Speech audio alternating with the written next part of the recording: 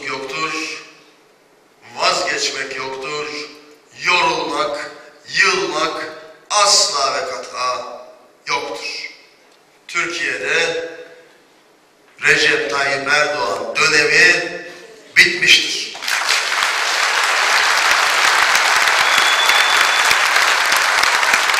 Türkiye Barolar Birliği Başkanı Metin Feyzioğlu, Marmaris'te kitabının da ismi olan Çıkış Yolu adı altında düzenlenen bir konferansa konuşmacı olarak katıldı. Konferansı CHP'li Marmaris Belediye Başkanı Ali Acar ve Muğla Barosu Başkanı Cumhur Uzun'un da aralarında bulunduğu yaklaşık 1500 kişi izledi. Feyzioğlu salona girerken vatandaşlarla uzun uzun tokalaştı.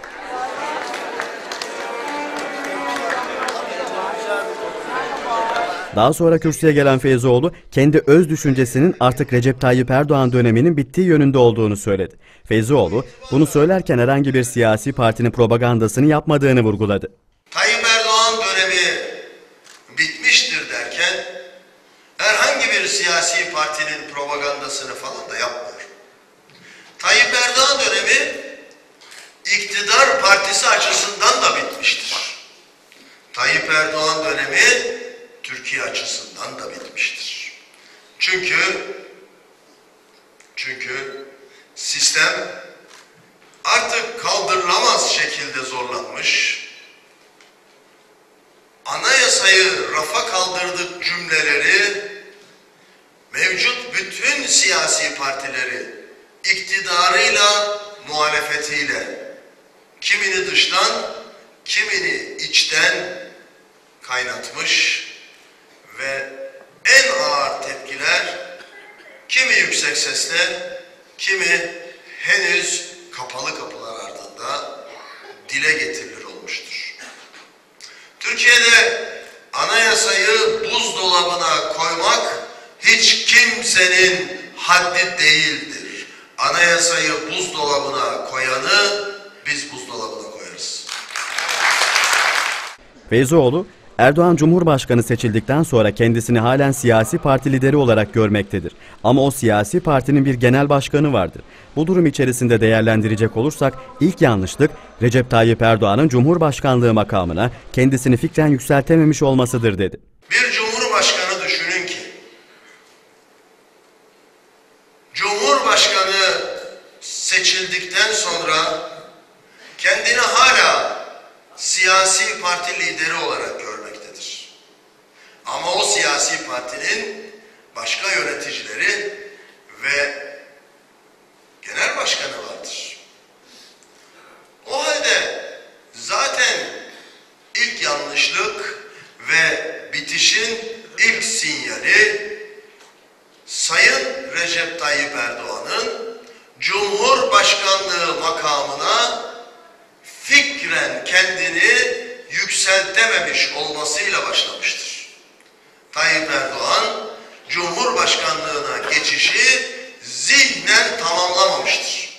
Cumhurbaşkanlığıyla bağdaşmaz şekilde Türkiye'nin bütün kurumlarını birbirine kırdırmak için sabah, öğlen, akşam ayrı uğraş vermektedir. Cumhurbaşkanının görevi devletin kurumlarının birbiriyle uyum içerisinde çalışmasını sağlamaktır diyen Feyzoğlu şöyle devam etti. Gelmiş geçmiş bütün cumhurbaşkanlarımız pasifinden en aktifine kadar partilisinden partisizine son tahlilde devlet krizi çıkmaya yüz tuttuğu anda gelin bakalım demiştir. Parti genel başkanlarını, kurumların başkanlarını toplamış ve cumhurbaşkanı olduğunu ispatlamış, tansiyonu düşürmüş, kurumların işbirliği içinde çalışmasını sağlamıştır. Maalesef kendisini bir siyasi partinin fiili lideri olarak görmeye devam ettiği için, bunda bir hak gördüğü için ve bunu da yaparken anayasayı buzdolabına kaldırdık da diyebildiği için Tayyip Erdoğan Cumhurbaşkanı sorumsuzluğuyla donatılmış bir fiili başbakanlığı başbakana rağmen sürdürmektedir. Tayyip Erdoğan dönemi Tayyip Erdoğan nedeniyle bitmiştir. Hemen her politikacının başkanlık sistemine karşı olduğunu ileri süren Feyzioğlu, başkanlık sistemi Türkiye'ye ne diye takdim edilmekte? İstikrar getirsin diye. İyi de bu halk bu kadar bunların sandığı kadar saf mıdır? Hani Türkiye 12 senedir istikrar içindeydi? Şimdi ben anlamadım istikrar var mıydı yok muydu şeklinde konuştu. Konu gayet açıktır. Konu Recep Tayyip Erdoğan Türk tipi başkanlık sistemiyle Hürrem tipi padişahlığa soyulmaktadır. Bunu bilerek söyledim. Çünkü yürütülen algı operasyonunda yeni Türkiye, yeni Türkiye ve yeni Türkiye dedikleri